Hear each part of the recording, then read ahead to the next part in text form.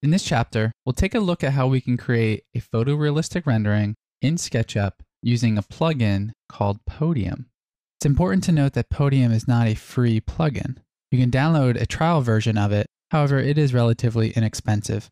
With Podium installed as a plugin, go to Tool Palettes and select Podium from the dropdown. Whenever you create any photorealistic rendering, you need geometry, reflections, and lighting. In this section, we'll take a look at lighting. Podium offers a great browser library where they have light fixtures that are already preset with lighting values. So we'll just browse through here till we find a light that we like. I like this one here.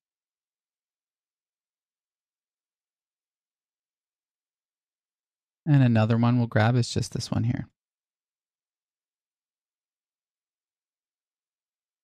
And again, what's great about these is not only is the geometry really well created, but it also has illumination within the lighting component itself. This saves a lot of time from having to render, readjust the rendering, and see if the lighting works. Just going to rotate the light. And we'll set it in place.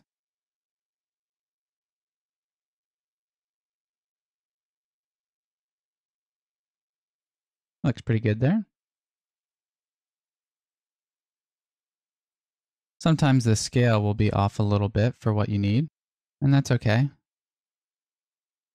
You may need to right click and unglue the component, and then you can move this up. And we'll just move this down a little bit.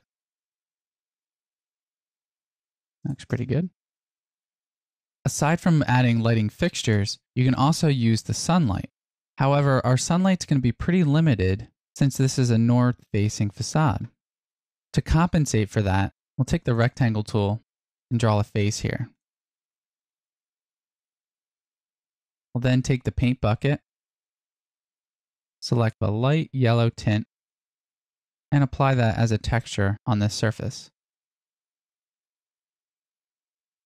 Next, in the materials properties of Podium, we want to select this material and make it a light power.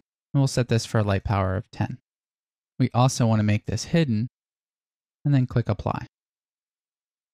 Now the rendering we want to do is from the staircase and we don't want to see the Google Earth imagery.